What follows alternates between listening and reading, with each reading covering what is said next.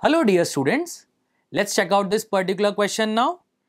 In this particular question, a ball is thrown vertically downwards from a height of 20 meter with an initial velocity v0, okay? It collides with the ground, loses 50% of its energy and rebounds to the same height. So what is happening?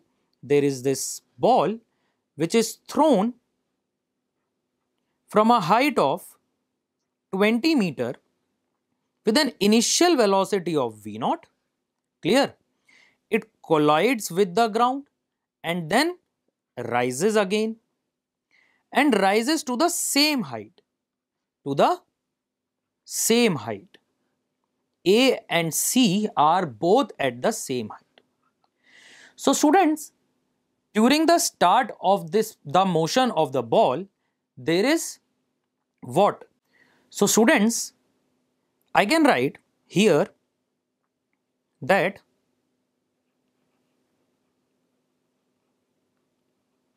initially the body had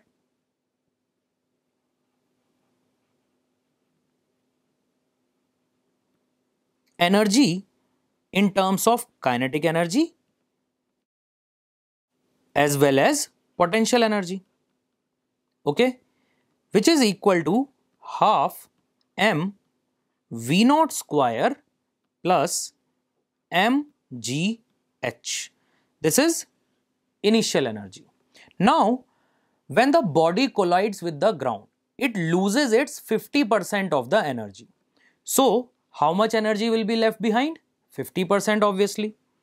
This 50% of energy that is left behind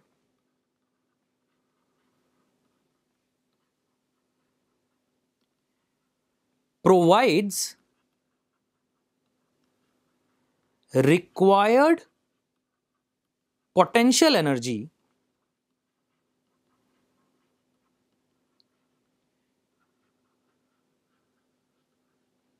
to rise the ball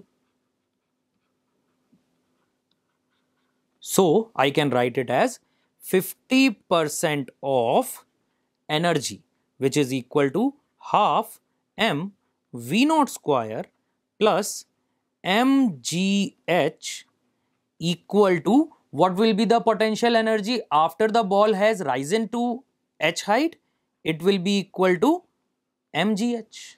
So this will be 1 by 2 times of half m v naught square plus mgh equal to mgh which will give me 1 by 4 m v naught square plus 1 by 2 mgh equal to mgh. So, here I can cancel these m. Clear students? Also, 1 by 4 V naught square will be equal to GH minus half GH. So, this will be V naught square equal to GH into 4 by 2 which will give me V naught equal to under root 2G h.